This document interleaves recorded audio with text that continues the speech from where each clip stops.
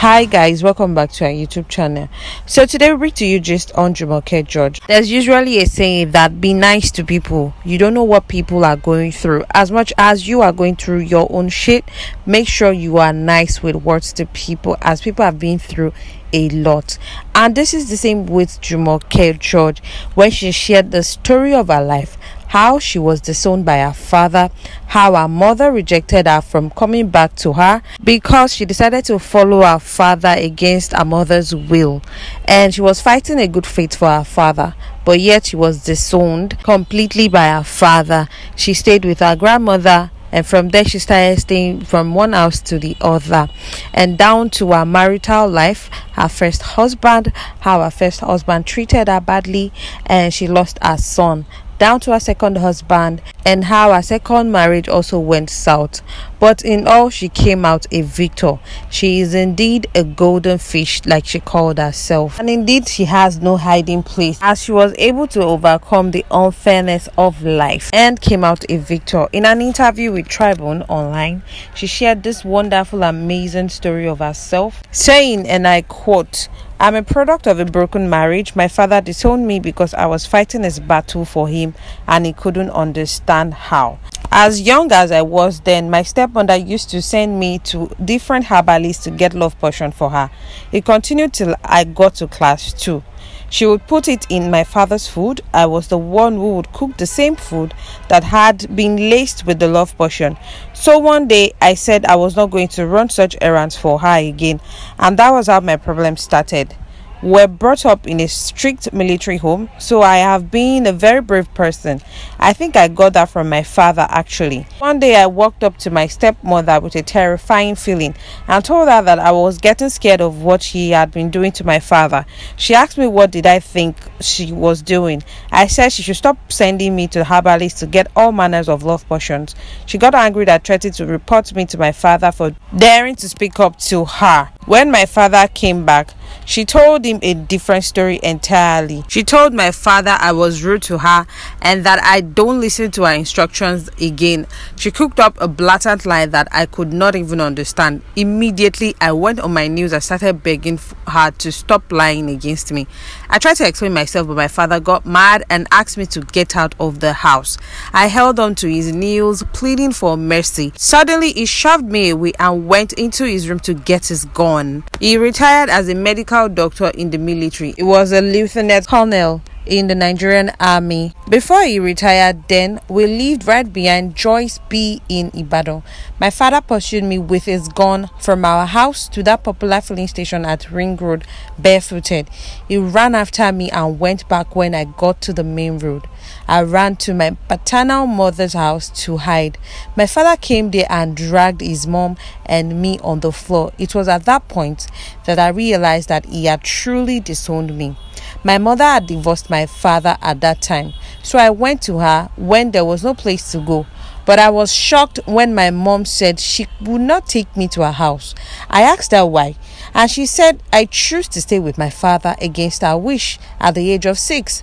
When she wanted to leave my father's house, my mother insisted that she would not have me back in her house that was how I started squatting from one house to another because I didn't want to become a dropout. Afterwards, I went to the house of my classmate who was the daughter of the popular Baba Kondiede. After some time, Uncle Aqua enrolled me with Laulu Uguni Theatre Group.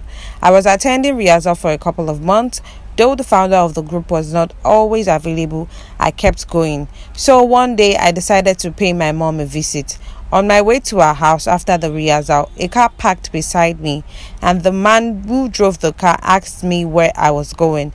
He said he had known me since my first stage play on NTA some years before then. He said he would like to meet my parents, so I took him to my mom. When we got to my mom, he told her that he would like to mentor me in acting. That same man is Comrade Victor Ashaolu. I was under his tutelage for 11 years. This was Madame Jumoke George explaining her ordeal of how she was disowned at the age of eight and how she had to start living and fending on her own. She spoke further on how she was able to conquer this. She said, I always tell people that I am a golden fish that has no hidden place, and I like telling my story to inspire young ladies who might be going through a similar problem. When I left secondary school, I gained admission into Osogbo Technical College to study business administration. But still, I wanted the world to learn more from me because I had never seen myself as someone who ever had parents. Let me be sincere with you, my parents never existed in my life. If I could go through what I faced in life at that tender age and nobody was there to help me but God, then I don't think I would be wrong to say I never had parents. My grandmother actually tried for me because she took me to my mother and told her that she was not happy about how I had been sleeping from one house to another.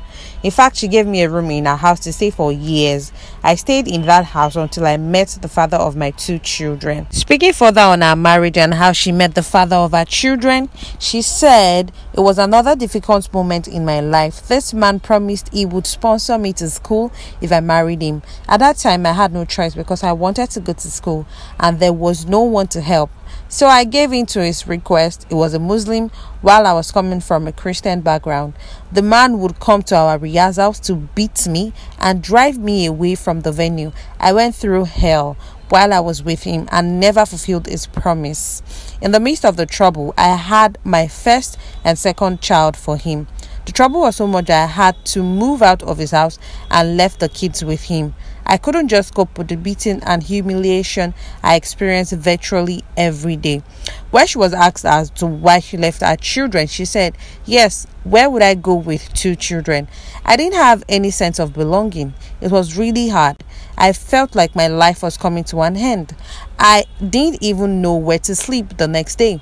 I don't know what happened, but the second child died. I was told he hit his chest on the ground and he never recovered from it. After three years, I met the second man who I had another child for. I would say he was another woman's husband because when we met, I didn't know he was married. One thing led to the other, and I got pregnant. I'm happy that the child is doing fine today. She is my pride. This was Madame Joquet explaining and sharing her experience. And of course, she didn't think life was not fair to her. She believes life is beautiful. When she was asked that after all she has been through, what does she think about life? She said, Life is beautiful. We are the architects of our lives. It depends on how things work out with our lives. As far as I know, I believe life is beautiful. I think the lesson I learned from everything I went through is that parents should love their children.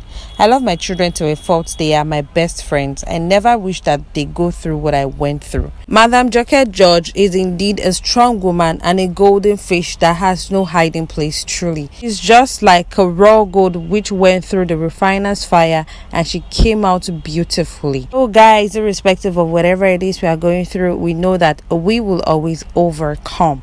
Well, guys, there you have it. Do not forget to like, subscribe, and drop a comment at the comment section below. Thank you. Bye.